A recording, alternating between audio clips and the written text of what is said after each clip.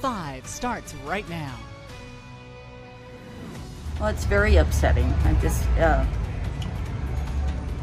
can't say anything more. I'm a little emotional right now.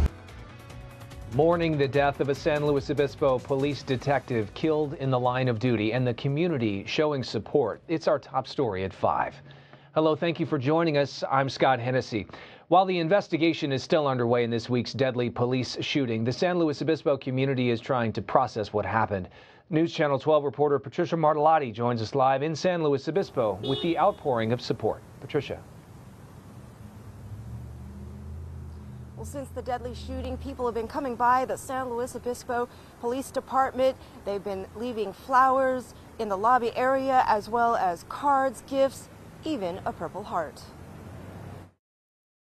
For the city of San Luis Obispo, the shooting that killed Detective Luca Benedetti and injured Detective Steve Orozco has hit home in more ways than one. From Joan Watson, who has lived here for more than half her life, It was just unbelievable. I bet it would happen here.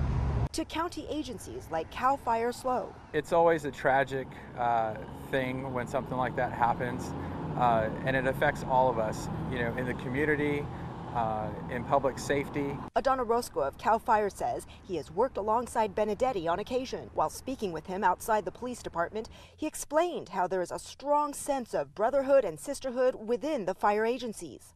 And that carries on to our law enforcement brothers and sisters as well.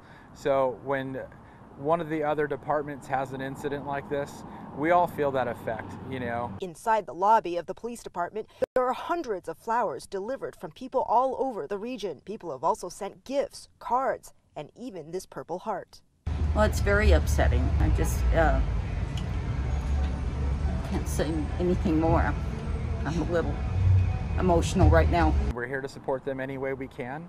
And, uh, and just know that we are your neighbors, we're your family, and, and we're here to stand by with you.